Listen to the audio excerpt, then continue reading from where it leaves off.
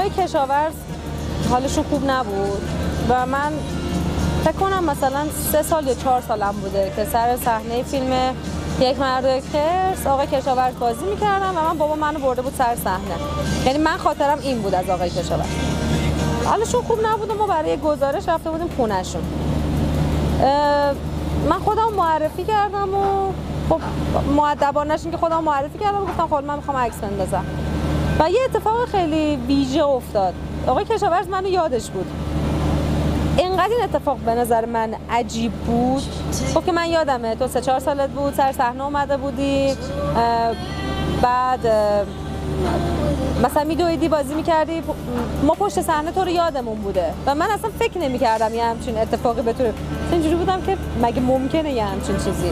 و انقدر اون گزارش دلنشین شد در ادامه انقدر برخورد دوستانه و خاکی داشتن.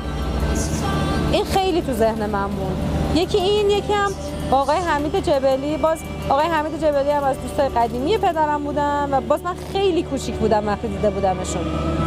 اما برای گزارش از یه نمایشگاه نقاشی که گذاشته بودن رفتم و باز وقتی خودم معرفی کردم گفتن که من تو رو یادمه. چون خیلی کوچیک بودی و بابات انگلیسی حرف می‌زدی تو ذهن من موندی. و باز این این خیلی اتفاق جذابی بود. یعنی تو این دوتا مورد خیلی تو ذهنم این گزارش ها رو